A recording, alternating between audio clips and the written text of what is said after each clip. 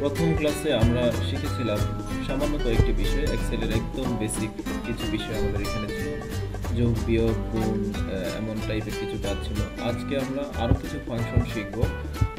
মূলত আজকের সেকেন্ড ক্লাসে আমরা এই ফাংশনগুলোকে দেখে ফেলার চেষ্টা করব। এবং তৃতীয় এবং চতুর্থ ক্লাসে আরও কিছু বিষয় প্র্যাকটিস প্লাস এই টুলসের কাজগুলো এবং কিছু মেনুতে আমরা গিয়ে বিভিন্ন ধরনের কাজ শিখব। তো কাজে লেগে যাই। আমি এই ডাটাগুলো যেহেতু ইনপুট দিতে হবে এটার কোনো শর্টকাট নেই, তাই আমি আগে থেকে দিয়ে রেখেছি। বাট যদি আমি নাম্বারটা দিতে চাই, যে নাম্বার এক এক করে বাড়তে থাকবে, এখানে দুই হবে, এখানে তিন হবে, এই সিকোয়েন্সিয়াল নাম্বার দেয়া বা সিরিয়াল নাম্বার দেওয়ার একটা টেকনিক এক্সেলে আছে।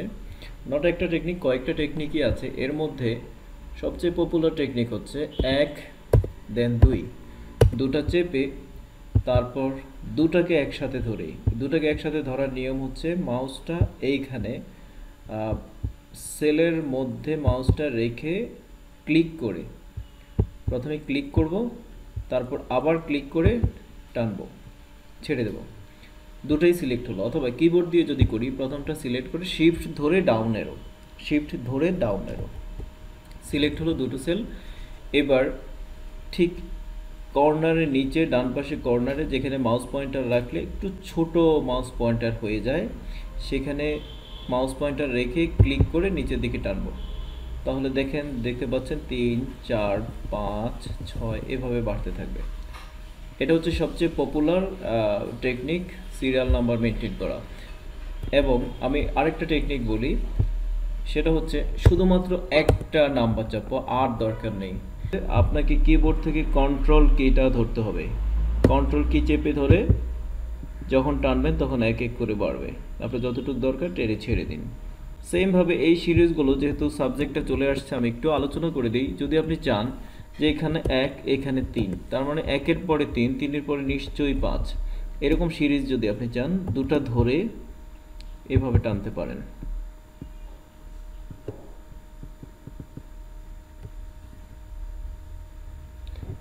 আবার যদি চান আপনি দুই দেন চার, একইভাবে দুটা ধরে এই সিরিজটাই এক্সেল মেনটেন করবে। এবার ডেটের কথায় আসি। আমরা এখানে একদিনের সেলস রেকর্ড করব। আমি ধরে নিচ্ছি এই কয়েকটা সেলস একদিনের। তাহলে এইখানে সেম ডেট রিপিট করতে হবে। এটাও একইভাবে প্রথম ডেটটা লিখে আপনি যদি মাউস পয়েন্টটা দিয়ে টানেন, তাহলে একটা করে ডেট বেড়ে যাচ্ছে। ডেট যখন টানবেন, একটা করে ডেট বেড়ে যাবে। আবার যখন আপনি ডেট কন্ট্রোল ধরে টানবেন, তখন সেম ডেট রিপিট হবে। অর্থাৎ নাম্বার যেমন কন্ট্রোল ধরে বাড়লে, টানলে বেড়ে যায় ডেটের ক্ষেত্রে ঠিক তার উল্টো। কন্ট্রোল ধরে টানলে সেম ডেট রিপিট হবে। তো আমরা এই কাজটি করলাম। এইবার আমরা আসি ডিসকাউন্টের পালায়। তো আমরা একটা কলাম এখানে ইনসার্ট করে নেব। আর যদি আমরা ভ্যাটের আগে করতে চাই, তাহলে ভ্যাটের কলামে রাইট ক্লিক করে মাউসের রাইট ক্লিক করে ইনসার্ট সো একটা কলাম ইনসার্ট হয়ে গেল, ঠিক যেখানে রাইট ক্লিকটা করা হবে, তার বামে কলাম ইনসার্ট হবে। আমরা এখানে নেট অ্যামাউন্টটা বা নেট সেলসটা লিখতে চাচ্ছি।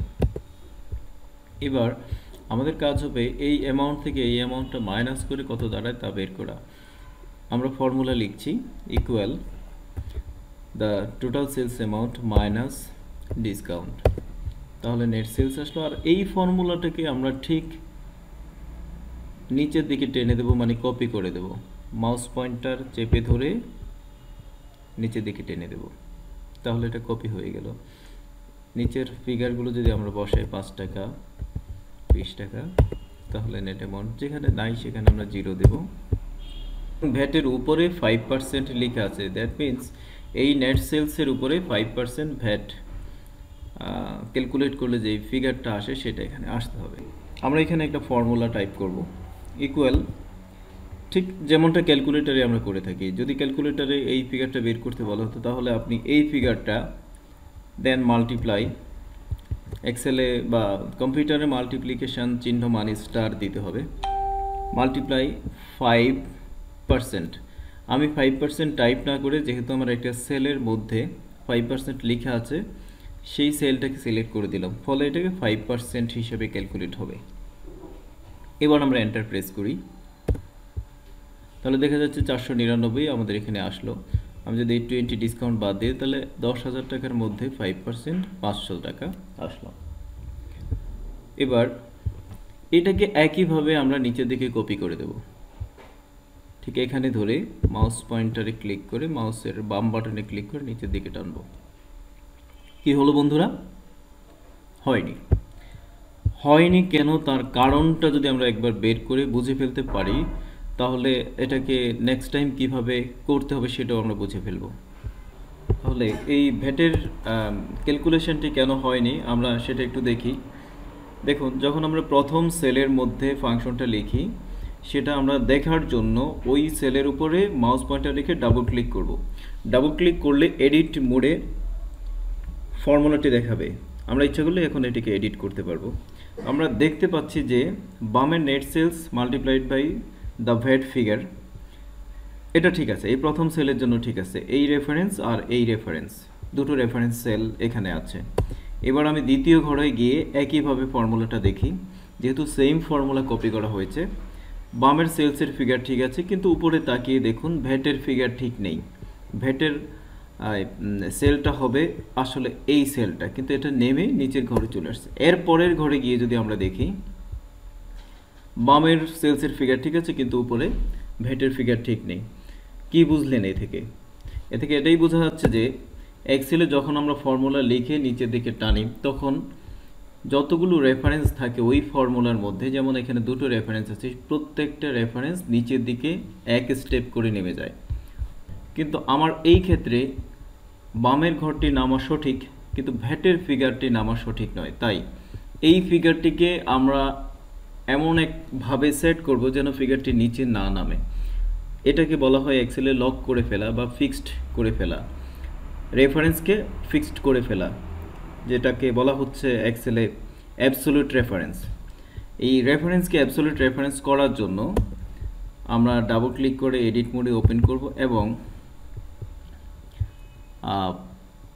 এখানে দুটি বিষয় খেয়াল করতে হবে যে এই যে সেলটা সেলটা হচ্ছে আই টু আই এবং টু আই কলাম এবং টু নাম্বার রো আমাকে লক করতে হবে হচ্ছে টুকে যেহেতু টু নিচের দিকে নেমে থ্রিতে থ্রি নিচের দিকে নেমে ফোরে এভাবে চলেছে। অর্থাৎ রো নাম্বারটি লক করব। আর রোটাকে লক করার জন্য জাস্ট টু এর আগে একটা ডলার চিহ্ন চেপে দেব। শিফট ফোর দিয়ে ডলার চিহ্ন দিয়ে দেব।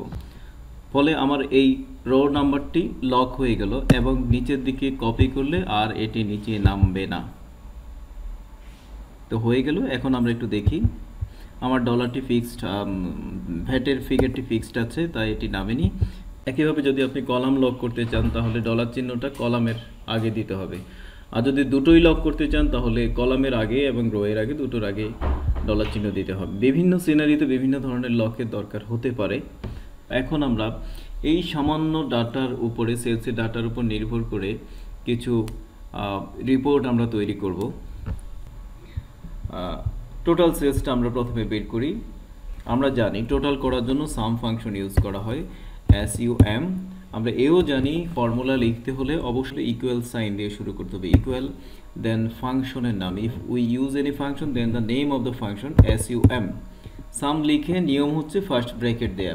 বাট ফার্স্ট ব্র্যাকেট না দিয়ে নিচের দিকে যখন সামটা সিলেক্ট হবে, তখন ট্যাব কি চাপ, চাপলে সেই ফাংশনটার নামটাও বসে যায় এবং ফার্স্ট ব্র্যাকেট বসে যায়।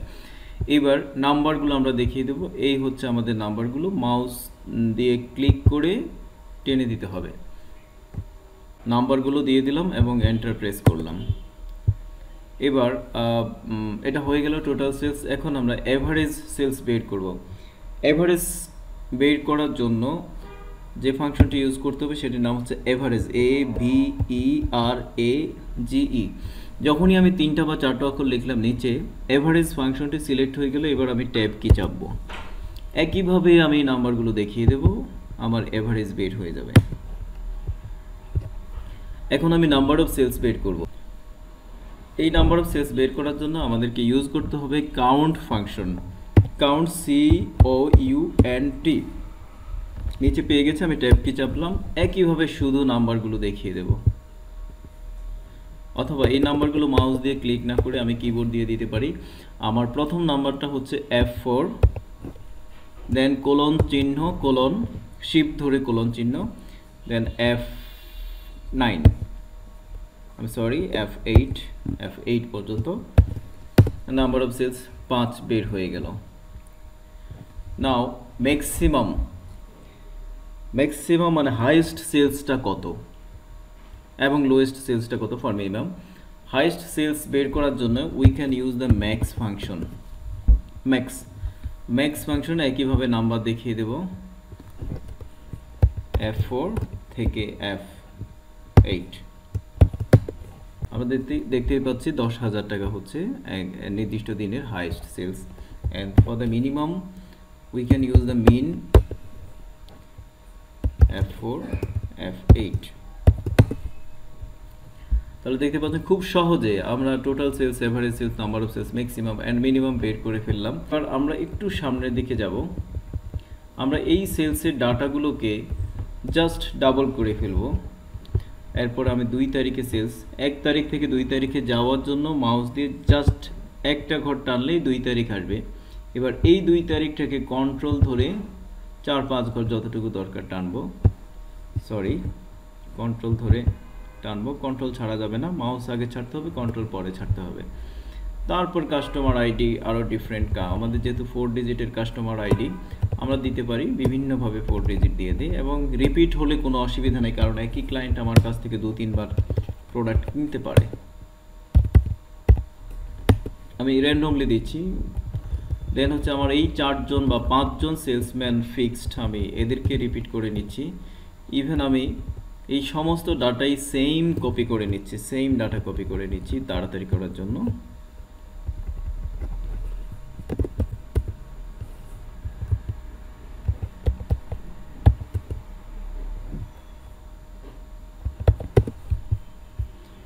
এবং আমি ভ্যাটেরটাও কপি করে নিচ্ছি একইভাবে।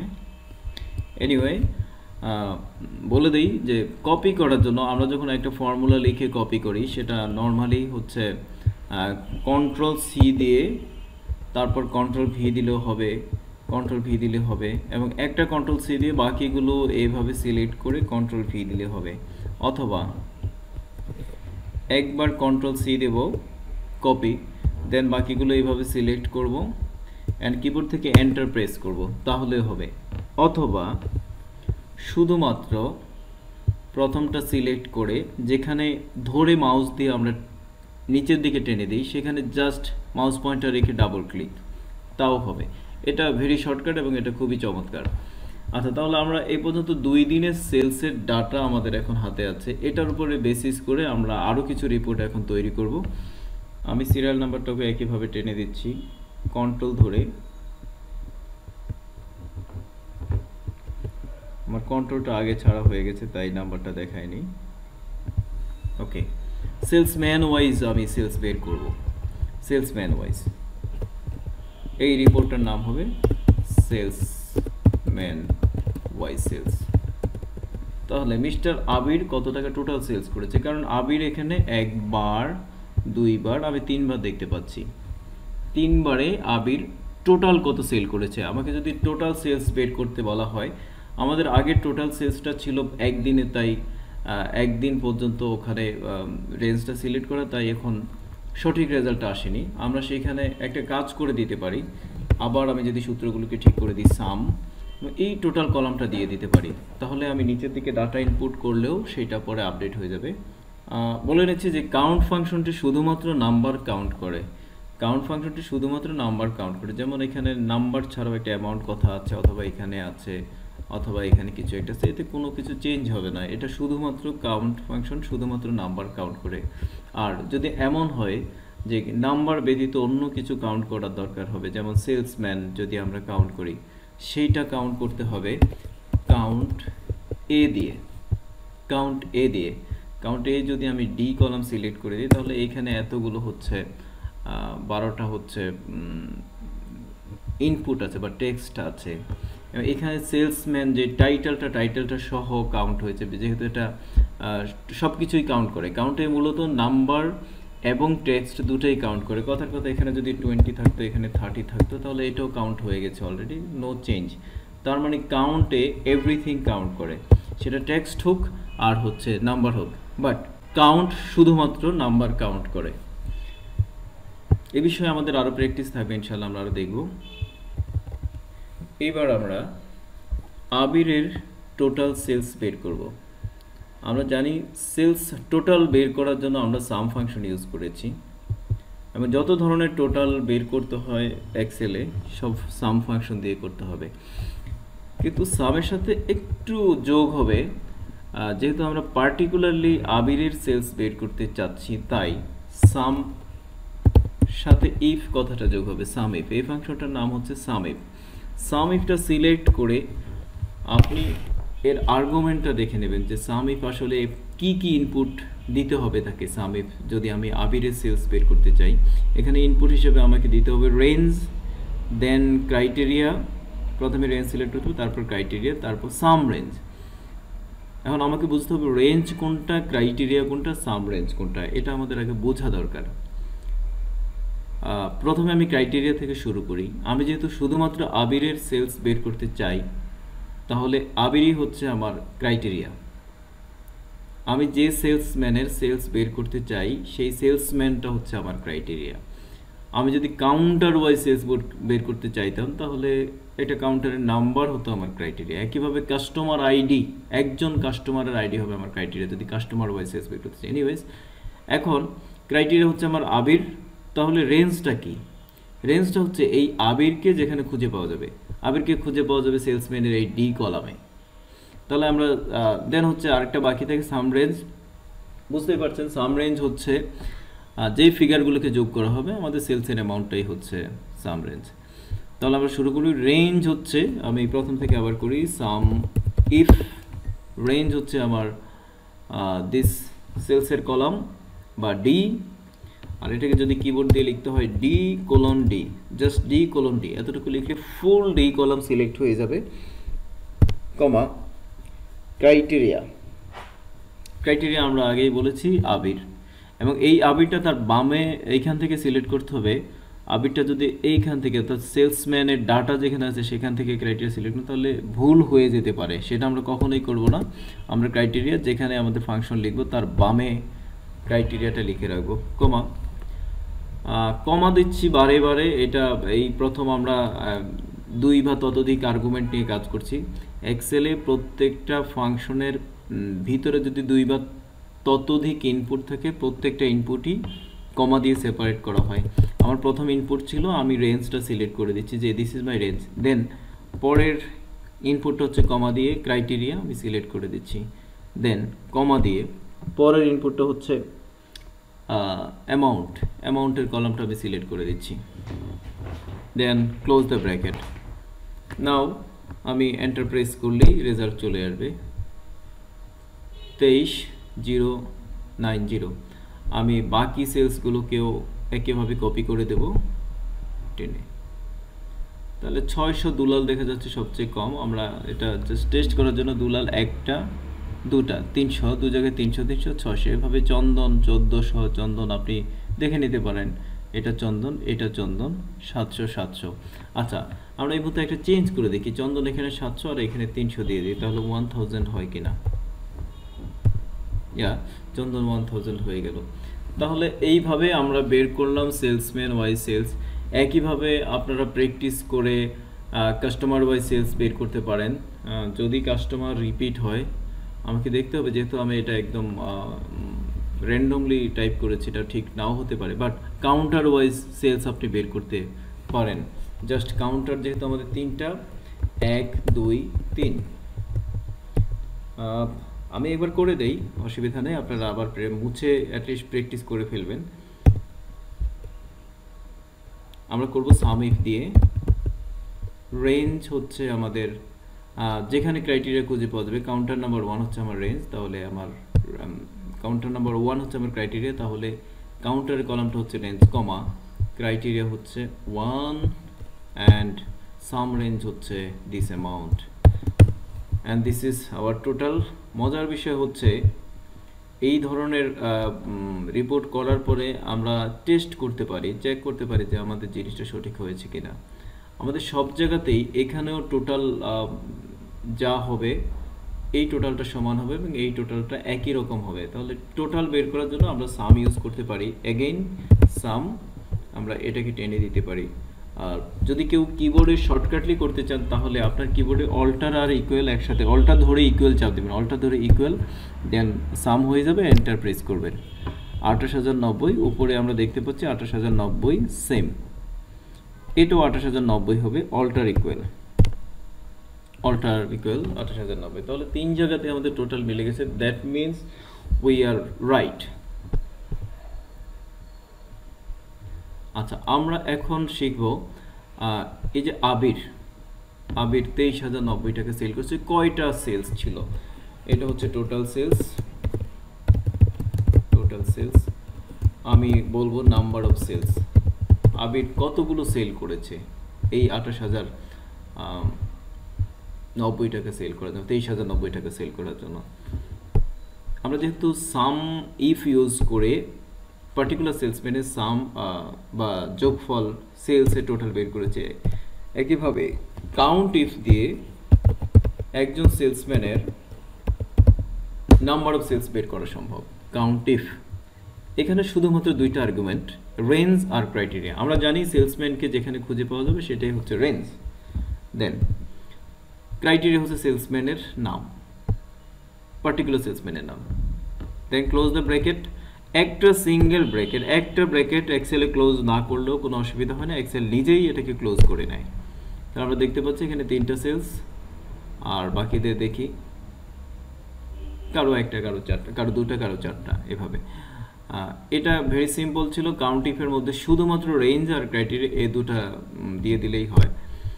এবার আমরা দেখি এভারেজ সেলস পার্টিকুলার সেলসম্যানের এভারেজ সেলস অর্থাৎ তার নিজস্ব এভারেজ সে যে এই তেইশশো নব্বই টাকা সেল করল, তাহলে এভারেজ কত তার সেল হলো? তিনটা যদি তিনশো নব্বই হয়। নর্মালি থ্রি দিয়ে ভাগ করলে রেজাল্টটা চলে আসবে। This figure divided by this figure আসলো। বাট এইটাকে আমরা একটা ফর্মুলা দিয়ে করতে পারি। এটাকে সেই ফর্মুলাটা হচ্ছে average if average if average if ফাংশনটা সিলেক্ট করলাম। এভারেজ ইফ এবং সাম ইফ এর আর্গুমেন্ট একই রকম, হুবহু একই রকম, শুধুমাত্র নামটাই পার্থক্য। প্রথমে রেঞ্জ সিলেক্ট করতে হবে this is our range and criteria select করতে হবে this is my criteria and average range হচ্ছে the numbers the sales figures অর্থাৎ কোন কলামটাকে আমি অ্যাভারেজ করব? আমি সেলসের ফিগারগুলোকে অ্যাভারেজ করব প্রেস এন্টার অ্যান্ড এটা চলে আসছে। এবার আমরা ম্যানুয়ালি এটাকে অ্যাভারেজ করার চেষ্টা করি equal this figure divided by three তাহলে আমরা দেখতে পাচ্ছি হুবহু মিলে গেছে অ্যাভারেজ এভাবে অনেক কিছুই ফাংশন দিয়েও করা যায় এবং ফাংশন ছাড়াও করা যায়। তাহলে আমরা শিখলাম আমরা শিখলাম হচ্ছে কি কি শিখলাম? আমরা একটু we just going to have a look on the contents যে আমরা এখান থেকে কি কি ফাংশন শিখলাম? আমরা শিখলাম, এটা ইয়েস দিচ্ছি আমি। আমি একটা কাজ করে নিই, ছোট্ট একটা কাজ যে আমরা যখনই ইয়েস দেব তখন যেন আমাদের একটা কালার হয়ে যায়। আমি এটাকে একটু সুন্দর করে নিচ্ছি। এটাও এটাও একটা লার্নিংয়ের বিষয়। আপনারা যেহেতু এখনও বেসিক লেভেল শিখছেন অ্যাডভান্স লেভেলে গেলে এই বিষয়গুলো ডেফিনেটলি আপনাদের আসবে।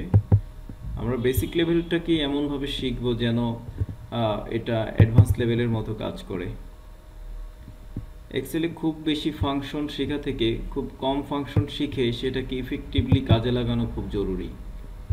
খুব বেশি ফাংশন অনেকগুলো ফাংশন শিখলাম কিন্তু কোনোটাই কাজে লাগাতে পারলাম না, সেটা যেন না হয়। বরং আপনি সব মিলিয়ে বিশটা ফাংশন শেখেন এবং বিশটা ফাংশনে ভেরিয়াস টাইপস অফ ইউসেজ আপনি শেখেন। এটা আপনার লাইফে খুব কাজে লাগবে। আচ্ছা আমরা জাস্ট স্টেটাস আপডেট করব। Is it done is it done yes done yes আর এখানে ডান ইয়েস লিখলে এটার জন্য একটা কালার চেঞ্জ হয়ে যায় so that we can understand যে কোন কোন কোন আইটেমগুলো বাকি আছে সেটা সহজে বোঝা যাবে দূর থেকে কালার দিয়ে। ওকে আমরা যেহেতু চাচ্ছি এইটুকু কালার হবে এটা যদিও অ্যাডভান্স লেভেলের একটা বিষয়, আমি তবুও দেখাচ্ছি যারা ধরতে পারেন তারা ধরে নেবেন। এটা করতে হবে কন্ডিশনাল ফরম্যাটিং দিয়ে অ্যান্ড নিউ রুল আমি খুব কুইক যাচ্ছি কারণ এটা আপনাদের লেসন নয়, তাই আমি এখন একটা রোল লিখব। তারপর আপনি শিখে ফেললে, মুখস্থ করে ফেললে এটা খুব ছোট জিনিস। আমরা চাচ্ছি equal to this cell equal yes যদি ইয়েস হয়, এখানে ইয়েস যদি লেখা থাকে, এটা একটা ইফের মতো কাজ করবে। আর এখানে সেভেন যেহেতু আমরা নিচের দিকে টানবো সেভেনের আগে ডলারটা উঠিয়ে দেব। ফরম্যাটে ক্লিক করে ফিল সিলেক্ট করে আমি চাচ্ছি একটু গ্রিন হয়ে যাবে। যা, যেগুলো আমরা শেষ করেছি, একটু গ্রিন একটু গ্রিন বা olive colour okay I like that colour and yes হয়ে গেল। এইবার ফরম্যাট পেইন্টার দিয়ে আমরা ফরম্যাট পেইন্টারের কাজ ফার্স্ট ক্লাসে শিখেছিলাম। এই ফরম্যাটিংটা this is a formatting just formatting nothing else এই ফরম্যাটিংটা সিলেক্ট করে আমি পুরোটাতে পেস্ট করে দেব। এটা এটা পেস্ট হয়ে গেছে। বুঝতে পারছেন বুঝতে পারছেন না হয়তো, দেখে। আমরা যখন এখানে ইয়েস লিখব তখন কালার হয়ে যাবে। কাউন্ট এই আমাদের হয়ে গেছে। আপার হয়নি লোয়ার হয়নি ম্যাক্স আমাদের হয়ে গেছে। মিন আমাদের হয়ে গেছে। লার্জ হয়নি এভারেজ হয়ে গেছে। আমাদের অনেকগুলো ফাংশনই শেখা শেষ। কাউন্ট ইফ হয়ে গেছে। এভারেজ ইফ হয়ে গেছে। প্রোডাক্ট হয়নি আপার লোয়ার প্রপার আমি খুব সিম্পলি আপার লোয়ার প্রপার এখানে দেখিয়ে দিচ্ছি।